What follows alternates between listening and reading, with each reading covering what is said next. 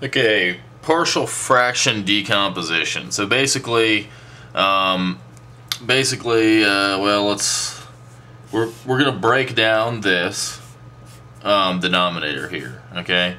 And what they usually do, they usually teach it in, uh, they usually they usually teach it in uh, calculus two when you do integration because you can do it by uh, logarithms. So let me just see here real quick what uh let's see I need a what a positive 2 and a negative 1 right there. Well basically um, to decompose a, a, fraction like this or I mean well, it's not even I mean it's a rational expression but to uh, I guess what we're trying to do is make uh, separate terms out of it okay now so basically what we're gonna do is we're gonna go uh, hunt down A and B okay?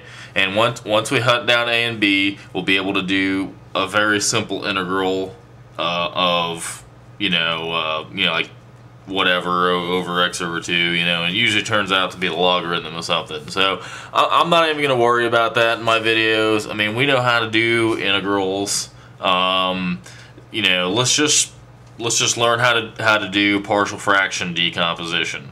Once we know how to uh, break um, you know a rational down into partial fractions, th then we're fine. Okay, so let me. What I'm going to do is I'm just going to rewrite this. Okay, I'm just going to rewrite this on another piece of paper.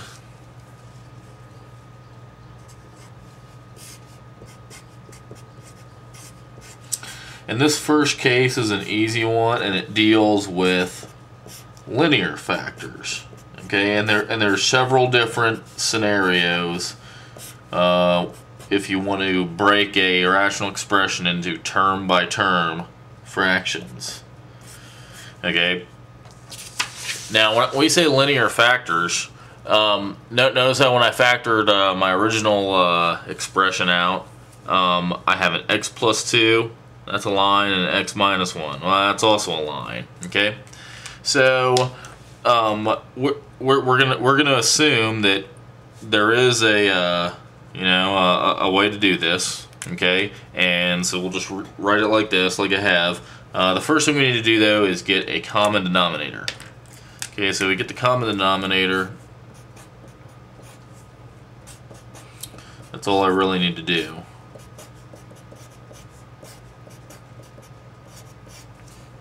Okay.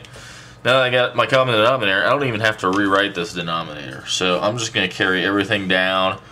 And the next thing, um, the next thing I need to do is I'm going to multiply all this out. Okay, so so you know whatever's in the top, I'm I'm going to go ahead and multiply it all out. So that's going to give me ax minus a plus bx plus 2b. Now this 3, there's something kind of interesting about this 3 over here. You know, really, this is, I mean, this is a polynomial as well. Okay? It's just missing some of its terms. Okay? Well, uh, or some of its terms are just have 0 as a coefficient. So, um, basically what I want to do is I want to match up my x to the 1 terms. I don't have any x squared terms, uh, but, but we'll, we'll, we'll see in uh, a few more examples that that happens. Uh, so basically, I will have a situation where 0x is equal to ax plus bx. Now, since I got uh, x's on both sides, I can just divide them out. And I end up with a plus b equals 0. Okay? So whatever A is, B has to be the negative. Okay, just just for observational purposes. And then my next, uh, my, my x to the 0 term is just a lone 3. And then here's all my x to the 0 terms over here. I got, what, a, a negative a plus 2b. Okay, well this is just really simple to solve. And a matter of fact, uh, since I have a negative a over here, I think I'm just going to go ahead and in this equation right here, basically I end up with a system of equations. Okay. Um, well, basically I'm, I'm just going to uh, solve for b right here, so I'm just going to move a over. So that means b is going to be equal to negative a.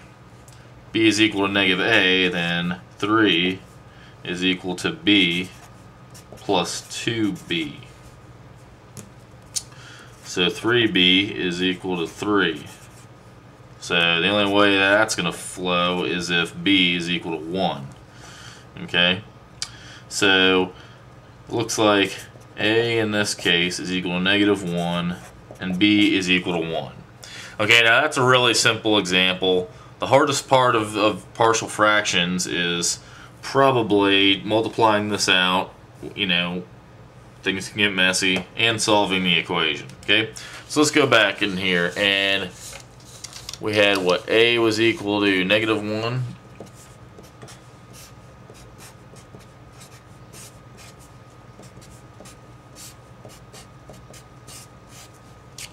Okay, so, and I guess I might as well just rewrite uh, this original expression because I have time still. So basically, um, you can imagine how integrating this would be a pain in the butt. As a matter of fact, I don't even know how you would integrate that, okay? But this one, this would just be the negative natural log of x plus 2 and you'd just integrate the uh, natural log of x minus 1 there and that and that wouldn't be too tough or, you, or I mean you know the integral you know the antiderivative would equal that I'm sorry but like I said that's usually the first place you see it that's why they introduce you to partial fractions is because it does make integration in in some sense um, a little easier unfortunately partial fractions are pretty tough, so I'm trying to put as many examples in as I can, okay? Um, and, and, like I said, in those examples, I'm not even going to worry about integrating this stuff. I mean, we know how to integrate, you know, negative 1 over x plus 2. It's just, let's just worry about the par partial fractions, you know, for now. You know, because, you know, then, then we'll just go back to integration, okay? All right, well, thanks for watching. I got plenty more coming.